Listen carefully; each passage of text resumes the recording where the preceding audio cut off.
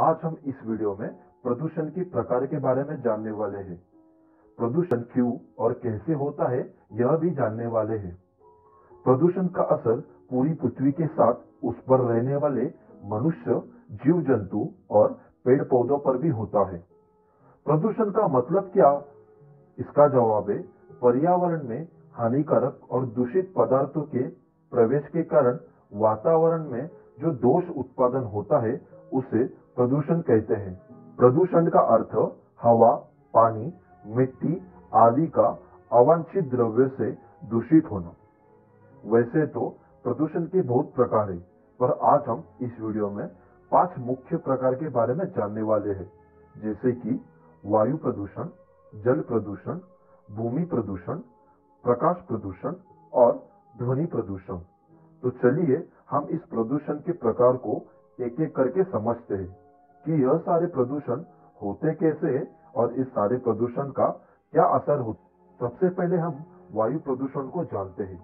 वातावरण में रसायन तथा अन्य सूक्ष्म कणों के मिश्रण को वायु प्रदूषण कहते हैं। वायु प्रदूषण carbon monoxide, sulphur dioxide, chlorofluorocarbon और उद्योग और मोटर वाहनों से निकलने वाले नाइट्रोजन ऑक्साइड जैसे प्रदूषकों से वायु प्रदूषण होता है। वायु प्रदूषण सबसे ज़्यादा फैलाने में मोबाइल और गाड़ियाँ बनाने वाली कंपनियों का हाथ है, जो कि सबसे ज़्यादा कार्बन डाइऑक्साइड हवा में छोड़ते हैं। वायु प्रदूषण से पेड़ पौधे पशुओं और मनुष्यों के स्वास्थ्य पर भी बुरा असर पड़ रहा है, जैसे कि श्वास रोग चमड़ी के रोग, अंधापन, दिल और फेफड़े की बीमारी, कैंसर जैसे अनेक बीमारियाँ वायु प्रदूषण के कारण हो रही है। और तो और पेड़ पौधे मर रहे हैं, जिससे पृथ्वी से ऑक्सीजन की मात्रा भी घट रही है। डब्ल्यूएचओ यानी वर्ल्ड हेल्थ ऑर्गेनाइजेशन की रिपोर्ट के मुताबिक, हर साल 70 लाख लोग वायु प्रदूषण के कारण मर रहे हैं। यानी 800 लोग प्रति घंटे या 13 लोग प्रति मिनट के अनुसार वायु प्रदूषण के शिकार में आकर मर जाते हैं, जिनमें से 40 लाख लोग एशिया पैसिफिक के शामिल है, जिनमें हमारा भारत देश भी आता है। अभी हम जल प्रदूषण के बारे में जानते हैं।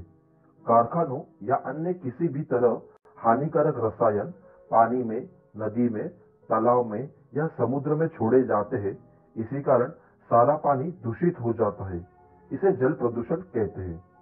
वायु प्रदूषण के कारण जो हानिकारक गैस, धूल और कण बारिश के पानी में घुल जाती है, जिसे हम एसिडिक रेन कहते हैं, यह अम्लीय वर्षा के कारण भी जल प्रदूषण की मात्रा बढ़ जाती है। पेट्रोल और डीजल का आयात निर्यात समुद्र मार्ग से करना यह जल प्रदूषण का सबसे बड़ा कारण है।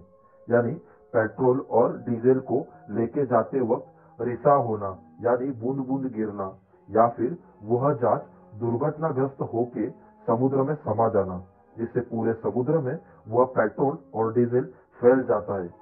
जिससे समुद्र प्रदूषित हो जाता है, जिसमें समुद्री जानवर मर जाते हैं। विकीपीडिया की रिपोर्ट के अनुसार जल प्रदूषण के कारण लगभग प्रति वर्ष इक्यावन लाख दस हज़ार लोग, यानी प्रतिदिन चौदह हज़ार लोग जल प्रदूषण के चपेट में आके मर जाते हैं, जिसमें 580 भारतीय लोग प्रति महीने जल प्रदूषण के कारण मर जाते हैं। जल प्रदूषण का सबसे ज़्यादा, यानी 90 प्रतिशत असर चीन के शहरों में होता है, क्योंकि चीन में सबसे अधिक जल प्रदूषण होता है। अभी हम भूमि प्रदूषण के बारे में जानते हैं। ज़मीन पर यदि बहुत दिनों से ठोस कचरा इकट्ठा हुआ है तो वह ज़मीन दूषित हो जाती है। और तो और, खेत में ज़रूरत से ज़्यादा कीटकनाशक पदार्थ का इस्तेमाल भी उस भूमि को दूषित कर देता है। यानी भूमि की जगह सड़ने को भूमि प्रदूषण कहते हैं। पूरे भूमि का 50 प्रतिशत हिस्सा खेती और पदार्थ का उपजाऊ करने में उपयोग किया जाता है। आज जिस गति से विश्व एवं भारत की जनसंख्या बढ़ रही है, इन लोगों के भोजन की व्यवस्था करने के लिए भूमि को ज़रूरत से ज़्यादा शोषण किया जा रहा है, जिसके परिणाम स्वरूप आज भूमि की पोषक क्षमता कम होती जा रही है। पोषकता बढ़ाने के लिए इसमें कीटकनाशकों का जमकर इस्तेमाल किया जा रहा है, यानी भूमि प्रदूषण के कारण ही आज हमें अच्छी सब्ज़ियाँ और फल पोषक तत्वों से भरे नहीं मिल रहे हैं। भूमि प्रदूषण के कारण उस भूमि के आसपास के सारे पेड़ पौधे जीवित नहीं रह पाते और यदि उस दूषित भूमि पर कोई वृक्ष होगा तो वह वृक्ष भी दूषित हो जाएगा और ना ही खाने के योग्य होगा। आपको बता दूँ कि उनासी प्रतिशत खाद्य पदार्थ भूमि के मिट्टी से ही हम सबको मिलते हैं। अभी हम प्रकाश प्रदूषण के बारे में जानते हैं। ज़रूरत से ज़्यादा तीव्र प्रकाश की चीज़ों का इस्तेमाल करना या बिना मतलब का ज़्यादा प्रकाश का उत्पादन करना, उसे प्रकाश प्रदूषण कहते हैं। प्रकाश प्रदूषण का ऐसा कोई ज़्यादा हानिकारक प्रभाव तो पड़ता नहीं है, पर एक प्रभाव प्रकाश प्रदूषण से पड़ता है, जो ज़्यादातर शहरी इलाकों में होता है। शहरी इलाकों से हमें आसमान में ज़्यादा सितारे नहीं दिखाई देते, जबकि अगर आप, जहाँ जनसंख्या कम हो या गाँव से आसमान में देखोगे तो आसमान में बहुत सारे सितारे दिखाई देते हैं।